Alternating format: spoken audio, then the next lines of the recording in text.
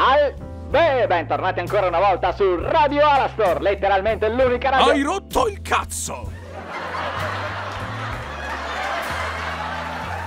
Infernale che vi tiene compagnia. Come sempre io sono Alastor e i più perspicaci di voi forse avranno già sicuramente notato che l'ospite di oggi è piuttosto ingombrante. Non ce l'avevi uno studio più grande? Non ce l'avevi un ego più piccolo? Tesoro, tutto quello che ho è grande. Ed eccoci che ricominciamo con i sottintesi sessuali. Spero che siate contenti. Con chi stai parlando? Non importa. Possiamo passare alla parte dell'intervista dove è finita e me ne posso andare? Ma certo! Signore e signori, ho il piacere di avere in studio per la prima volta uno dei sette peccati capitali, il re della lussuria in persona. Diamo il benvenuto ad Asmodeus. Dunque, mio caro, avrei un paio di domande. Dimmi, culetto di cervo. Come accidenti sei entrato? Dal tetto, è ovvio. Ti sei scalato l'intera torre in stile raperonzolo? Mi sorprende il fatto che non mi hai sentito sfondare tutto. Sei veramente cazzo enorme! L'ho capita l'antifona. In questo episodio il fatto che io sia enorme è un'ottima scusa per fare battute ascoltate. Sei veramente cazzo enorme! E io che ho rinunciato a lucrare su delle puttane per questo. Il che mi porta alla seconda domanda. Perché sei qui? Voglio dire, tu, Asmodeus, uno dei sette peccati capitali, letteralmente uno degli esseri più potenti dell'inferno. Cosa ti ha spinto a decidere di scalare la torre di questo hotel per partecipare al mio podcast? Vedi, il figlio del fratello del cognato della sorella della nonna del prozio acquisito del cane del barbiere dell'amante del pompiere di fiducia dello zio della sorella del padre dell'ex collega del mio amante Fizzarolli ha sentito per caso un episodio di questo podcast in cui si parlava di questo hotel che redime anime come persino Lucifero abbia avuto un cameo involontario. Sono a tanto così dal riuscire a convincerlo a fare un episodio insieme. E ho pensato, ehi, perché non fare un salto al girone della superbia e partecipare a un'intervista? Avresti potuto chiamare il nostro numero, così almeno potevamo organizzarci meglio. Devo essermelo perso. Nessun problema. Approfittiamo di questo momento per invitarvi a chiamare al nostro numero 666-666-6663. Dunque, da dove cominciamo? Scusa un istante. Salve! Salverei, mister Alastor, sono Panda Pandoro e vorrei tanto ringraziarla per tutto il tempo con cui mi trattiene grazie alla sua radio. E salve anche lei, Sua Maestà Asmodus, non mi sarei mai aspettato di avere l'onore di parlare con lei. Spero un giorno di riuscire a partecipare a una serata alla sua tana. Mi dicono che sono molto intriganti. Un saluto anche a te, mio caro. Non vedo l'ora di sfondarti il culo. Tornando a noi, che ne dici se cominciamo dalla tua hit più popolare, Nella casa di Asmodeus? Da quanto so è stata completamente improvvisata. Oh sì, inizialmente doveva essere una provocazione per convincere uno sfigatello a non cantare una canzone d'amore nel mio locale e di certo non immaginavo un tale successo. E quell'altro che canta con te non è Fizzarolli?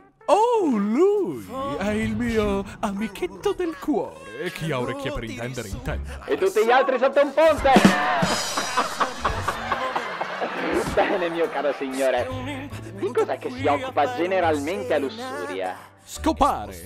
Duro, ovviamente. Il mio compito è seviziare e dare piacere per... Ehi là, che succede? No, niente.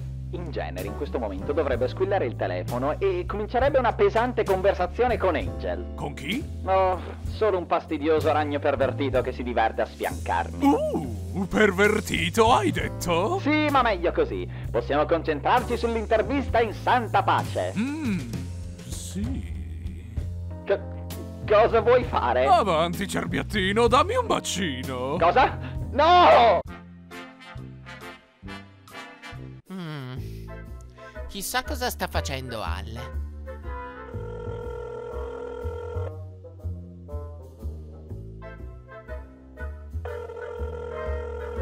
Brutto maiale! Ehi, puoi dirmelo in faccia. Magari sopra di me. Non tu, il re della lussuria, vuole apparecchiarmi il sedere! Che cosa? Se c'è qualcuno che ti fotterà il culo, quello sarò io. Passamelo. Sì. Ascoltami, brutta gallina abnorme. Giù le mani dal mio demone della radio o ti stacco il cazzo a morsi. E l'ho già fatto! Due volte! Uh, eccitante! Mi piacciono le cose hardcore!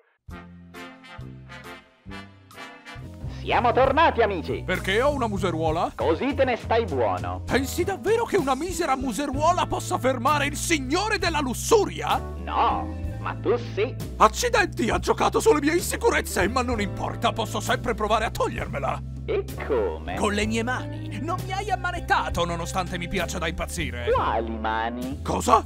Brutto bastardo, hai fatto la cosa di Multiverse of Madness! Sono proprio una Scarlet Witch! No, tu sei una Scarlet Bitch! Me lo dice sempre tua madre! Non ci crede nessuno che sei andato a letto con mia madre! Tu sei asessuale! Appunto, pensa quanto era disperata! Basta così, io me ne vado! Senza le mani e con la museruola? Fidati, ho fatto miracoli in passato senza bisogno delle mani. Io non posso immaginare una vita senza le mie mani. Posso farci un sacco di cose, tipo accendere la radio. Mi dispiace, Al, ma i porno radiofonici non sono avvincenti come quelli audiovisivi. Lo dici solo perché non ti sei mai fatto una sveltina su una radiolina. Ti masturbavi sulle radio in vita? Oh, guarda il momento di rispondere a una domanda dei fan. Dreams Pegasus, che cosa ne pensi delle canzoni di Verosica Mayday?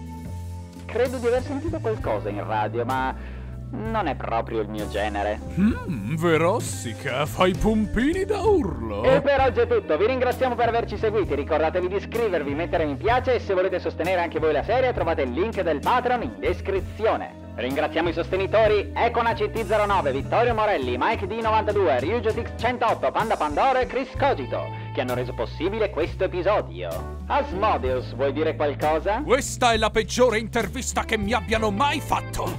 Ah. Restate sintonizzati.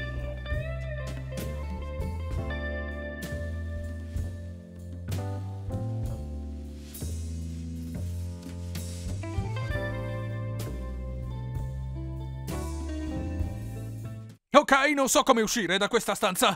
Mi potresti ridare le mani? oh, Asmodeus, non cambierai mai.